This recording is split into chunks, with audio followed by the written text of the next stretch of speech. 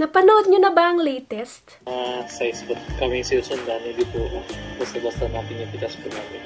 So, ito po ang kalalaki niya, eh, mga perfect size po yun. Dahil nagpost si GMA News ng isang Pinoy fruit picker dito sa Canada na ang sahod ay hmm, 100,000 pesos kada buwan. Wow! Kaya nag-decide ako na mag-search sa mga Canada job websites at ma-share ko sa inyo yung fruit picker job openings dito sa Canada para makapag-apply kayo. So ano pang hinihintay niya? Tara, let's!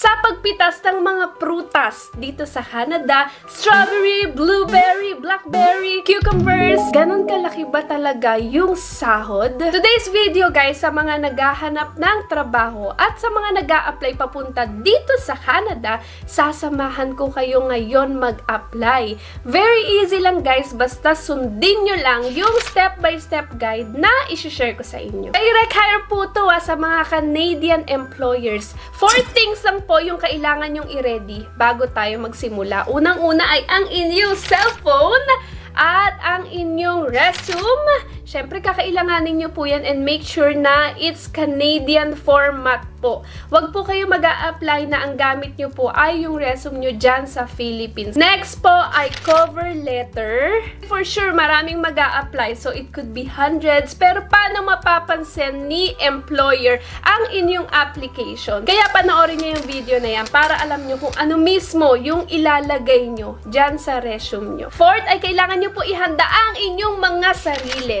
physically, mentally, emotionally, kasi hindi rin po ganun kadali mag-apply. Kailangan nyo po ng sipag at tiyaga. So, first na gagawin natin ay mag-search tayo ng fruit picker jobs in Canada. And lalagyan lang po natin ng LMIA. Ano po ba yung LMIA? Kasi kakailanganin po natin malaman kung meron yan si employer kapag nag apply kayo outside Canada. Sa mga nagtatanong pala dyan kung wala kayo sa Philippines and nasa ibang bansa kayo like Middle East, Taiwan. Pwede po kayo mag-apply kasi online lang po to. Yan, isa-isahin po natin yan. Pero marami po kayong makikitang iba't ibang uh, job search websites. Pero dito po tayo sa jobbank.gc.ca. Legit po ba yung lahat ng mga job openings dito sa Jobbank? Hindi po. Kahit po official job search website siya ni Canada ay meron at meron pa rin pong nakakapasok na mga scam. Kaya make sure po na mag-iingat pa rin po kayo. Yan po yung mga province ng Canada. Ngayon, kung meron po kayong mga kamag-anak dyan or meron kayong kakilala or friends, pwede po kayo mamili kung saan nyo po gusto. Pero po, pwede naman po na lahat yan ay applyan nyo. Iisa-isahin po natin yan kasi hindi naman po yan lahat ay sure na merong LMIA. So, try natin tong pinakauna na Alberta. Click natin yung very first one na Packer Vegetable Farm. Yan po ay sa Medicine Hat, 15.65 per hour, 40 to 50 hours a week. As soon as possible, 20 vacancies verified at my job bank number. No degree, no certificate or diploma, no experience. Kung kayo po ay may experience sa ibang field, halimbawa nag-work kayo sa mga sales, medical field, or whatever field, or fresh graduate kayo, pwede po kayo mag-apply. Ayan po yung mga gagawin nyo, sort and pack, fruits and vegetables, maglo-load and unload ng mga crates. Dito po sa baba ay may nakalagay na who can apply for this job. The employer accepts application from Canadian citizens and permanent resident or pwede din naman daw na other candidates with or without a valid Canadian work permit. So, ibig pong sabihin ay po pwede mag-apply. Isasend nyo lang po ang inyong resume and cover letter dito po sa email na makikita nyo dyan sa screen. So, dapat po before May 10 ay makapagpasa na po kayo ng inyong application. Bago po tayo pumunta sa ating second job, ay search muna po natin kung legit nga ba tong si Big Marble Farms. Hindi po natin siya makiklik sa mismong job bank, pero yung some other uh, companies makiklik nyo po. So, punta tayo sa Google. Marami po silang reviews, 22 na katao. Meron silang Facebook, Kita nyo po, meron ding reviews yung Facebook nila, tapos marami din pong nakalike. Next po na gagawin natin ay titignan po natin kung matatawagan sila. We're calling Big Marble Farms where we are always growing. If you know the extension of the person that you wish to speak to, dial now. Otherwise, please listen closely to the following options as they have recently changed. For administration, press 1. For the bookkeeping department, press Yan, so ibig sabihin po guys ay legit po ang kanilang number. Next naman po na gagawin natin ay Big Marble Farms Scam. Yan, titignan po natin kung may nag-post ba ng scam tong Big Marble Farms na to. Wala po. Okay, check naman natin yung legit Big Marble Farms. Sa tingin ko naman po ay legit itong company na to. Meron pa ata silang mga videos. You can check din yung kanilang location through Google Map para make sure na talagang doon talaga sila nakalocate. Ibig sabihin, lahat na nasa Google uh, information nila ay totoo po. Yan, Big Marble Farms. Kita nyo sila ay nasa Medicine Hat. So, yes, Tama po, 100%. Pero kahit po ganito, alam na po natin na sila po ay legit. Siguraduhin lang din po nyo na alam nyo po yung step-by-step -step guide kung kayo po ay jajab offeran na at kukuha na po kayo ng work permit. Alamin nyo po yung process para hindi po kayo ma-scam. Next job po natin ay harvesting laborer. Yan. So, ang gagawin nyo po ay pupunta po agad kayo dito sa baba para i-make sure natin na sila po ay nag-hire ng mga mga foreign workers. Pero, only apply to this job if you are a Canadian citizen, permanent resident, or meron po kayong valid Canadian work permit. Hindi na po natin yan na-applyan, hindi na po natin sasayangin ng oras natin na magbabasa pa kayo dyan. Pero alam nyo guys, meron din pong mga iba na ina-applyan pa rin po nila yan. Kasi, why not? Give it a shot, ba diba? Kung may free time naman kayo then, it's up to you.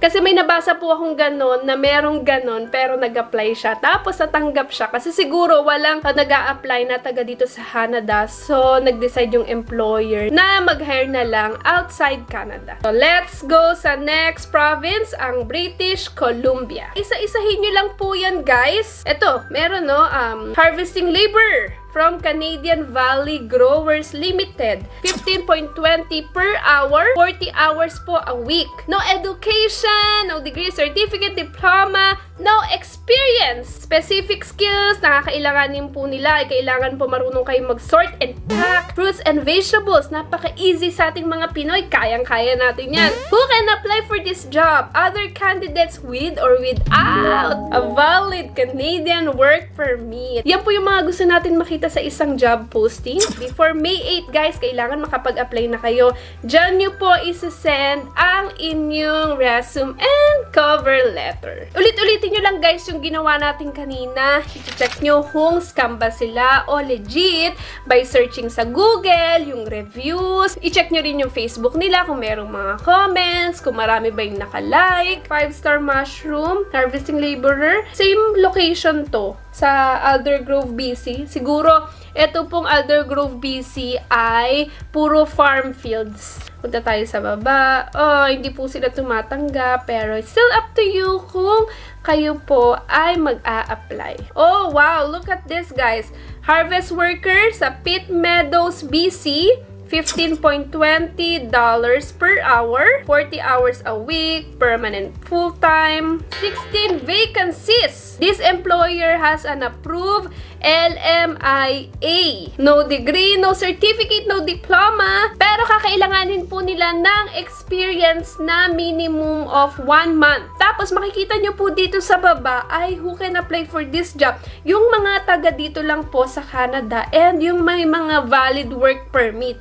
Pero magtataka kayo bakit meron po silang LMIA. So I think ito po yung minention ko kanina na kung hindi po sila makakuha ng mga applicants or maka-hire in Canada, agad-agad po ay pa pwede po silang kumuha ng outside Canada. So malay nyo, pwede nila kayong i-consider kaya kung ako sa inyo, ay itatry ko pa din po mag-apply. Basta po ganitong merong mga LMIA. Madami pa po yan guys. Ayan po, isa-isahin nyo lang po yan kung halimbawa eh, nag-aantay lang kayo sa pila, o kaya naman ay nakatambay lang kayo, or habang nanonood kayo ng TV sa bahay, tsagain nyo to, isa-isahin nyo. Try po natin etong sa Manitoba.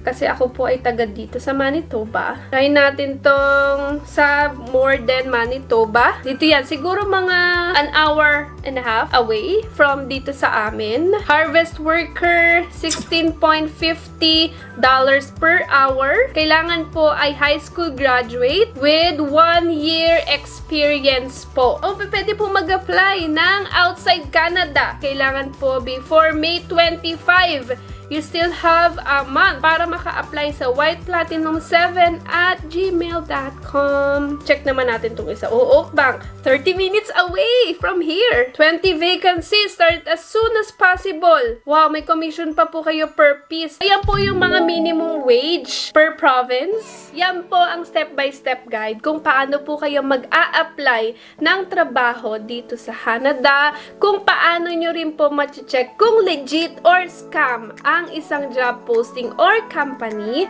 kapag po may goal kayo sa buhay, huwag nyo pong susukuan and be determined. Hindi yung konting failure lang susuko na kayo. Mind you guys, sa tens, hundreds, thousands na a-applyan nyo, hindi po lahat yan ay magre-reply. Malay nyo, sa 100 job postings na in-applyan nyo, 10 lang yung magre-reply. Pero kung gusto nyo po talaga, tsatsagain nyo. Walang makakapigil sa inyo for yourself, for your family, for your future. For immigration pathways, tapos yung mga naghahanap dyan ng trabaho papunta dito sa Canada, and yung mga balak mag student visa. Meron po tayong group. Join lang po kayo dyan and isa po yung community na nagtutulungan sa journey niya papunta dito sa Canada. Kung meron kayong mga questions and kung gusto niyo magka-idea dun sa mga timeline ng mga pumunta dito, yung mga stories nila, yung buhay dito sa Canada, join po kayo sa group na yan. This is my Facebook page, my Instagram.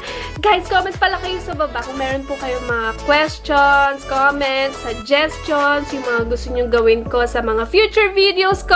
And don't forget na mag-subscribe kayo sa channel ko. I-on nyo rin po yung notification bell para po pag nag-upload ako agad-agad, lalo na yung mga bagong job postings, para po nakikita nyo po agad. Isa po kayo sa mga unang makakapag-apply. Ayun lang po guys. Thank you, thank you for watching. Be positive, always pray, and thank God for all the blessings. Bye!